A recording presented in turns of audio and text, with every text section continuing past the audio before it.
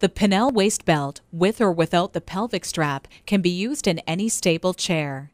The patient can be transferred directly from the bed using the waist belt as a gait belt. There is no need to remove the waist belt from the patient before transferring. The following shows the attachment of the waist belt onto the chair. Tightly buckle the small utility straps into both buckles of the waist belt. Next, pass the small utility straps behind the chair and connect them tightly together with the pin and button. If available, wrap them around part of the infrastructure to prevent upward sliding. The patient is now seated in the belt and the belt is wrapped around them.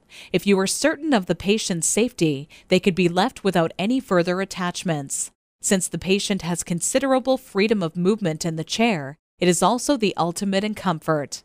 However, a chair is also a dangerous vehicle for restraining due to the ease of patient slippage through the waist belt with the help of gravity.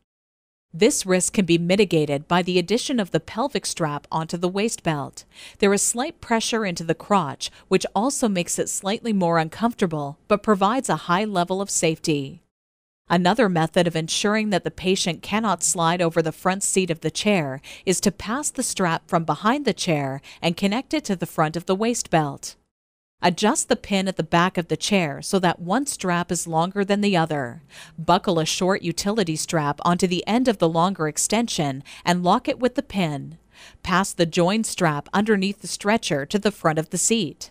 Attach the strap to the central button and pin that is holding the waist belt around the patient.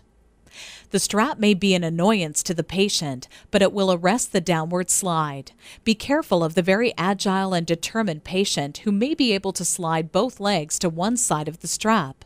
This maneuver would allow the patient to slide down off the seat and into a dangerous position.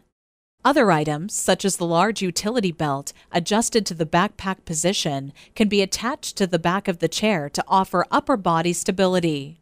For aggressive patients, the limb belts can also be attached and adjusted to any required length. Stability of the chair itself is extremely important. For example, use of the Pinel waist belt and pelvic strap in a wheelchair is only recommended for sedated patients. Any large and aggressive patient could attempt to stand up and walk with the wheelchair strapped to his back.